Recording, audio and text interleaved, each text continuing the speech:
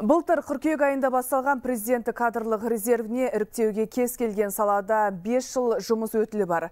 35 жасқа дейінгі ел азаматы қатысалады.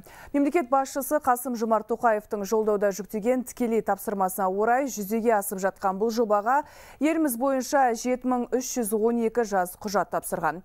Жастар жылы аясында қолға алынған жобаға еліміздің шығысындағы жастарда белсенділік танытты, ал төртінші соңғы кезеңге бұл өңірден 11 жас өткен.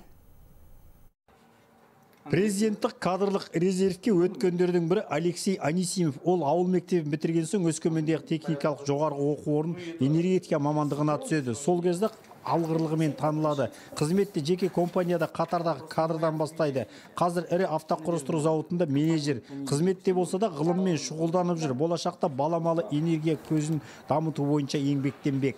Как будущий управленец я хотел бы заниматься... Болашақта басқару қызметіне барсам, елімізде баламалы энергия көзін дамытуды көздеп отырмын. Жел мен күннен қуат өндіру бағытын қолға аламын. Себебі 2050 жылға қарай орталық Азияда энергия өндірудің осы түрі ерекше дамитын болады. Ал Қазақстан бұл бағытта көшбасшы ел боларына сенемін. Әр салада алғырлығы және көшбасшылығымен көзге түскен жастар төрт кезеңнен тұратын іріктеуден өтті. Әр кезең бойынша үміткерлерге түрлі тапсырмалар жүктелді.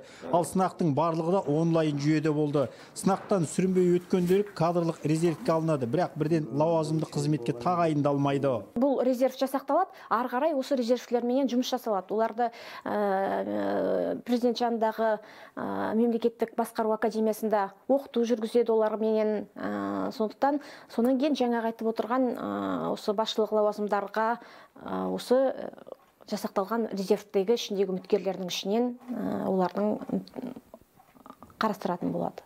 Президенттік кадрлық резервіне енуге шығыстан үміткер ретінде қатысып жатқан жастардың 60 проценті мемлекеттік қызметте жүргендер қалған 40 проценті басқа сала мамандары. Олжас керейхан дмитрий пыхтин қорытынды жаңалықтар хабар 24 өскемен.